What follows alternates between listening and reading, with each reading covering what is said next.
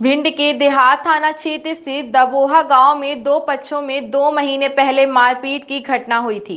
ये मामले की एफआईआर दर्ज कराई गई थी। इसी विवाद के चलते फरियादी और आरोपी पक्ष के बीच समझौते को लेकर गाँव में सोमवार को पंचायत बुलाई गई।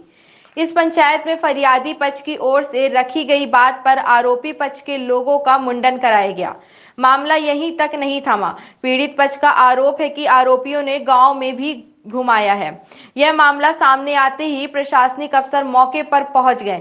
देहात थाना पुलिस ने पंचायत में मुंडर करने वालों पर एफआईआर दर्ज कर ली है। देहात थाना पुलिस के मुताबिक दो महीने पहले दिलीप पुत्र बुद्ध राम शर्मा की रामवीर शाक्य धर्मेंद्र और संतोष समेत एक अन्य डंडों से मारपीट की थी। इस मारपीट की घटना में दिलीप के भाई ने इन चारों आरोपियों के खिलाफ देहात थाने में एफआईआर दर्ज कराई थी। इस घटना के बाद यह आरोपी गाँव छोड़कर फरार चल रहे थे। इस पूरे मामले में आरोपी पक्ष ने गाँव के कुछ लोगों से फरियादी पक्ष से समझौता कराए जाने की पहल की। गाँव के लोगों ने एकजुट होकर दोनों पक्षों में सुलह कराए जाना उचित समझा।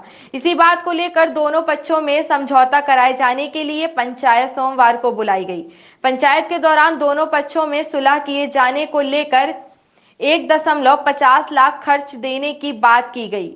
इसके अलावा मारपीट के बदले आरोपियों का मुंडन कराया गया। आरोप है कि गाँव के दबंगों ने दिलीप के साथ मारपीट करने के आरोपी संतोष और धर्मेंद्र का सिर मुड़वाने की सजा सुनाई और गाँव में घुमाया। इस मामले की जानकारी स्थानीय लोगों ने पुलिस को दी।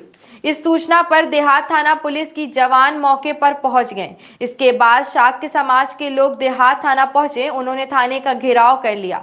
मामला बढ़ता देख भिंड एसपी शैलेंद्र सिंह चौहान भी मौके पर आ गए।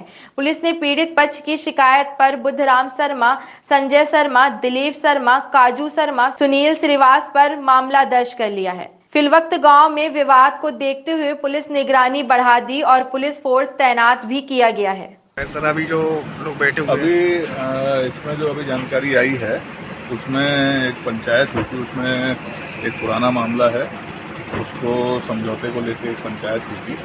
और उसमें पंचायत में कुछ निर्णय पंचायत के उसमें लिए गए थे। वो अभी हम पूछताछ में अभी और भी लोग हैं जो मौके पर मौजूद थे लेकिन अभी आए नहीं हैं। तो उनके आने के बाद और पूछताछ के बाद वो क्लियर होगा कि उसमें पूरा मैटर क्या निकल के आता है। सर क्या निर्णय लिया गया था और क्या था? इनके, इनके बाल कैसे घुट गए सर? कैसे उसमें अभी ये बात अभी क्लियर नहीं हो पाई है क्योंकि जो लोग थे कुछ उनमें से कुछ लोग कुछ अलग कहानी बता रहे हैं। कुछ मौके पर लेकिन पुलिस ने प्रथम दृष्टया जो है वो एफआईआर दर्ज कर ली है और जिन लोगों का नाम बताया गया है फरियादियों के द्वारा उनकी तलाश में अभी पुलिस टीम लगी हुई हैं और दो आरोपियों को हमने उसमें राउंडअप भी कर